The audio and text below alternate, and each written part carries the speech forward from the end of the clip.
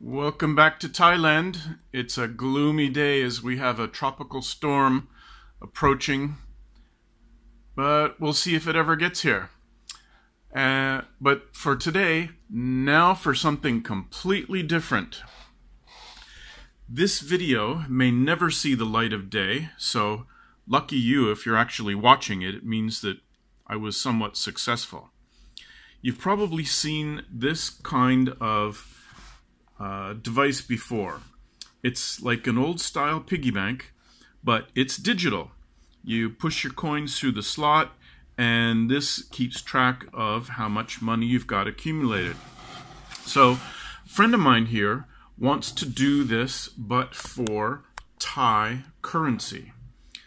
And because there, there's no device like this on the market that understands Thai coins. So, we're going to try and reverse engineer this and see how it works, see how we can use whatever technology they've got here, uh, modify it, and maybe build an equivalent device and put it on the market. So, first thing I need to do is look at the requirements. So, what have we got here? We've got the LCD display that shows you how much money you've got. Now, it's also probably run off a small battery in here. So one of the top design requirements is minimal battery consumption. And you would be surprised at how little power some uh, modern microcontrollers use on the order of microamps to get them working. So the processor inside here that's going to read the sensor, do the math, run the display, right? We need one of those small power. We need a small LCD display that probably only needs to run maybe for five seconds or so after you stick a coin in. And otherwise, it's not going to display anything unless we used an e-ink display, which only uses power as it's updating the display, but not while it's showing. If you look at things like uh, Kindles and Nooks, the early ones had e-ink displays for low power. Then we need some sort of technology that reads the coin that gets stuck in there. I don't know how it works. It could be uh, optically for how long the uh, like a light beam is broken by the coin falling through the slot. It could be the width of the coin as it's pushed through. Uh, and the accuracy thereof. And the problem is here in Thailand, the one and the two baht coins are very, very close to the same diameter, probably less than two millimeters or three millimeters difference. So we have to experiment with that. Then it has two buttons which act as a manual override. Like maybe if you don't want to push 20 coins through here, you just push one through, unscrew this, put the rest of the coins in and then hit that 20 times. Or if it misread, you can adjust your value through these buttons. So we need a processor with some persistent memory so we can keep our count. We need a battery, we need an LCD display or an e-ink display. We need this sensor for coins and we need two push buttons. That's definitely doable with uh, modern embedded microcontrollers. But let's see how this thing actually works. Sorry for the glare, but I needed to get some light inside here. Obviously, this is the battery compartment. It looks like maybe two AAA cells, which I think is overkill. If we do a much low power system, we could get away with one of those very small CR coin cells. Uh, it has a reset button right here that if you want to empty your piggy bank out and go buy a lot of chocolate, you just push that button and it goes back to zero. Made in China, of course. And then here is the coin sensor. So I'm going to start taking this into pieces and see what we discover. Yes, we've got two AAA batteries, 1.5 volts each in series. That gives us 3 volts with a tremendous amount of energy. I mean, th this is really, really overkill for this kind of a device if you program it for maximum power savings, and you only drive the, the screen when the user puts a coin in. So we can uh, cost optimize that. Now, let's dive into the next layer. Okay, I've taken the next three screws out, and you can see that this is just a battery carrier on this plastic part. There's no intelligence there, nothing else happening. And then there's a small single-sided circuit board with a reset button. So let's see what's going on with that. Okay, I took a sneak peek at the next layer and it's very interesting. This comes off and if we look at the circuit board, there's a capacitor here, a really big one. It's 10 volt 1000 microfarad cap, which um, kind of acts to stabilize the power coming in from the batteries, although it's very strange that it should need to do that. And the, the microcontroller is sitting here under a blob of hard plastic. And this is a modern ma mass manufacturing process that uh, is the cheapest possible way you could make this board. You don't even have a chip that's soldered to the board. The board is glued down, a little wire bonding takes place, and then they put that blob of plastic on. Now, if we look at some other things going on here, these two pads on the left side match up with these rubber pads here, and it has uh, I think, a little bit of conductive material on the bottom of that pad, which then uh, shorts out the wires here. That sends a signal to the controller that that button is pushed or that button is pushed.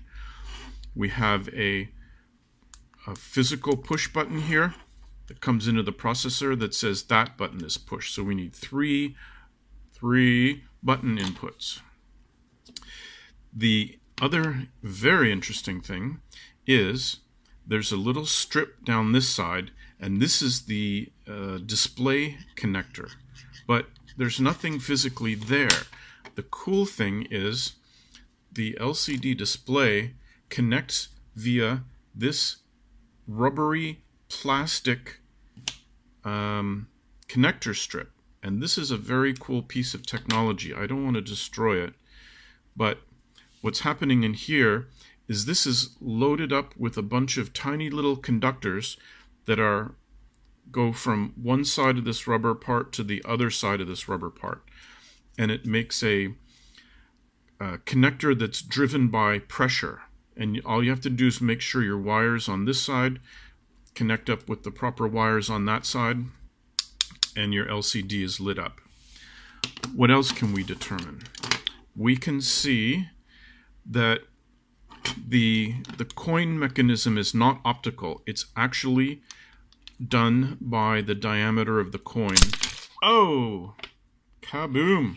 Well, so much for that. Let's just simulate what will happen. As you push a coin in, this part is pushed farther down the slot here. So it's definitely sensing the diameter of the coin. And that sliding motion lines up with these pads right here. Each of these pads is an input to the processor. This is the, the kind of the, the common connection. And as that uh, piece slides along here, it's going to make a connection from here to the 5 and here to the 1 and here to the 20. And it looks like this is uh, for British currency because it's like 1 pence, 50p, two pence, although on the box it said it was for US coins. That's interesting. We also have a series of resistors here. R1, that's a blank, focus, R8, R7, and R6. I don't know what the functions of those are other than to um, act as current reducing inputs you know the the input comes from here and it goes through the resistor into the processor so you don't have too much of an inrush or an outrush of power. That's interesting. But this is what I expected for sure. I did not expect this kind of uh, the that plastic ribbon connector. Um, I expected that for the buttons. I expected that for the reset. Um, so this is pretty cool. This is there's absolutely cost-driven manufacturing and cost-driven design to get this down to a reasonable end user cost. Now let's take a look at the display. Okay, here's our display, and a quick Google search leads me to discover that this connector is called an elastometric connector, elastomeric connector, and it goes by the brand name Zebra. So there are actually conductive traces on the backside of the glass for this display, which then go through the Zebra connector and back to our motherboard. So this is a super cheap uh, manufacturing technique also, because nothing has to be soldered. Everything is just a pressure fit. So, now the cool thing is, if I can put all that back together, and then figure out how we can do this with Thai coins and a processor that reads several inputs uh, for the coin size, reads three push buttons, and can drive an LCD display, then you know we've got our product. Then we just have to optimize the crap out of it for manufacturing. Okay, a quick correction. I went back and got the box for the part that uh, uh, the unit that I just took apart, and it does show it in UK currency. So the this one is specifically designed for UK coinage. And the other one I have is designed for US coinage. So let me just take this one apart and we'll see what the difference is on the uh, spacing of those sensors on the circuit board for the coin size. And the other smart thing they did in their manufacturing is they used exactly the same size screw for every screw in the product. So you have a bunch of the same size, keeps your uh, parts cost down, and makes your parts ordering easier and your manufacturing easier. Okay, I took apart the US coin one and I have yet another correction, but this is the kind of thing that happens when you reverse engineer something. With this still in place and not exploded in my face, I can see that when a coin is pushed through that slot, it's going to push this sideways. This metal bar is going to make a connection between something on this side and something on this side. So if we come over here and look at the boards, it's not, like I said, from this big pad to one of these pads. It's from this side, which is all common, and then over to here. This may be the nothing is inserted sensor, and that would trigger the processor to put itself to sleep. That That's a good idea. If this goes high for five seconds, then go to sleep. And you can see the difference between, uh, let me, framing. This is the UK one, and they, they actually uh, labeled their input pins, and you can see the spacing. This is the US coin one, and the spacing is much, much different, and they're unlabeled. But I'm going to say that's probably a dime, a penny, five cents, 25 cents, 50 cents, silver dollar, something like that, uh, increasing in diameter. But similar functionality. So for this company, whoever designed and built this, for them to make a Thai coin counter, they're going to need a new rev of the circuit board with the spacing properly for Thai coins, and they're going to need uh, new calculation firmware in here that does the math on the different uh, coins that can be inserted. So this is clearly a scalable solution, but um, to put the money into the manufacture uh, or you know the design and manufacture of a product that might not sell that well in the marketplace it's a risk for them. So I understand that. But we can definitely understand the underlying technology. Now, let's look at the diameter of Thai coins. Okay, this might look like a Star Wars movie intro, but this is actually all the coins in Thailand. I will say that this coin is the most common, the one baht, and it's worth about 3 cents US. These two smaller coins are called the 50 satang and the 25 satang. 50 satang is half a baht, 25 satang is a quarter of a baht. So these are worth 2 cents and 1 cent each. The only place you get these is at Tesco Lotus, which is the grocery store in here, or at a 7 Eleven because they price their things at 19.75 baht. And so you get a pocket full of these. These ones I put in a coffee cup, never to be seen again. The one baht and the two baht, I don't like to carry around in my pocket because there's just so many of them. So I actually designed and 3D printed these tubes. That's a one baht of 100 coins. This is a two baht of 100 coins. When it fills up, I take them down to my laundry lady in my condo and I exchange it uh, for a 100 baht note or I just pay her with them because she loves the small coins because she's always looking for small coins uh, when people pay their bills. Okay, back again.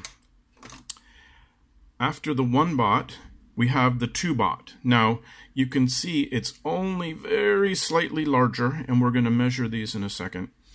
And so the two baht's worth about six cents, and it actually comes in two different flavors. The older ones are silver, but they've moved to a brass colored one, I think, to differentiate it from the one baht because it's in your pocket and you're paying something at the store. It's in your hand. You cannot tell the difference between these two coins. And that could be a problem for us in this project. Next up is a 5 baht coin. It's worth about 16 cents. And at, at first glance, you might think that it's actually segmented, but it's an optical illusion because those those uh, lines are on the inside of the coin. The outside is round. So that's cool. And the last coin we have is a 10 baht coin, much larger, and it has a brass insert. Uh, and that's worth 32 cents. And you can see they do actually have the Arabic 10, 5, 2, 1, 50, 25 on them. So Let's measure these up and see what kind of challenge we're going to get as we try and measure them through our device. Okay, here's what I found. Luckily, we're in good shape.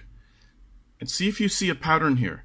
16, 18, 20, 22, 24, 26. Each of these goes up by 2 millimeters in diameter, except for the 2 baht coin, which is, by my measurement, 21.7. Not quite 22. If we were measuring from 22, we would fail. So we need to make this a little smaller. The good thing is 2 millimeters is dead simple for us to detect.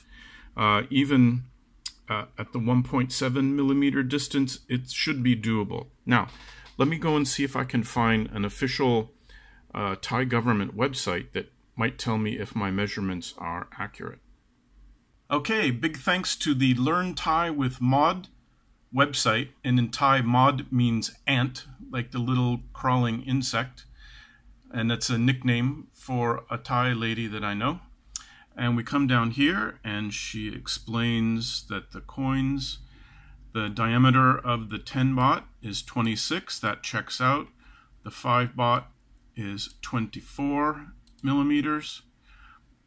The 2 baht is 21.75 millimeters. That's what I found, except I, I was, uh, I didn't have the accuracy down to the one, 5 one hundredths of a millimeter. The, let's see, the 50 satang is 18 and the 25 satang is 16. So that perfectly matches up with my measurements. And, and check this out. Both the 25 and 50 satang coins are mostly used in supermarkets and convenience stores like 7 Eleven. just like I said. Oh, you want to hear a Thai joke? When someone asks you where you live, you say, Oh, I live in the condo next to the massage shop and the 7 Eleven, because that describes every street corner in Thailand. Anyway, back to our measurement. Okay, so now that we have our measurements, all I would need to do is design a circuit board with this similar uh, footprint and screw holes and with the proper spacing to just trigger for all our different coin types. We have one, two, three, four, five, we have six different coin types. So I just need a, a common part, a go to sleep part, and then uh, one, two, three, four, five, six inputs that the processor can read. And as the coin's sliding in, we're going to get readings starting to come in from the sleep to the next one to the next one. And we want to see which is the last sensor that gets hit because that's our true coin size. We can ignore all the other ones. And then when it goes back to sleep, then we know we've we've got our coin size by the last sensor that was triggered. Now, short of doing that, which is definitely possible, I can send this off to China. I get it back in, uh, you know, three days, and it costs two dollars for for twenty of these boards. But using something like an Arduino uh, Due or an Arduino Uno, let me just pull one of them out. So here's an Arduino Due, a tiny little microcontroller, and you can see all of these input and output pins. So what I can do is write a program that pretends that we're running inside here. Then I can uh, assign inputs for each coin size on these pins which are read by the processor. As soon as I uh, go from ground to one of the inputs, the my software will think a coin has been inserted, but I'm just doing it from a testing standpoint. Uh, so I can completely prove this whole concept out using this board and some wires. And, you know, we can see that for production, we would need to move to this kind of a, a circuit board, a module. There's a guy I follow, EEVblog, Dave in Australia. He has um, found a microprocessor, microcontroller available in China that costs something like four cents, if I'm remembering correctly. And it it does amazing things for four cents. Um, you know, so what I'm really bound by is the number of inputs and also driving an LCD screen.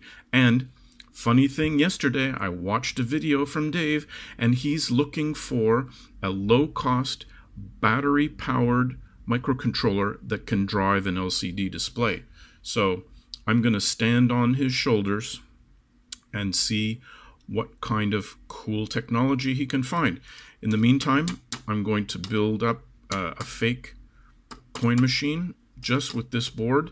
It probably take a couple of hours to write the software and test it out. And uh, we'll see if we want to go any further on this project, but it definitely looks doable.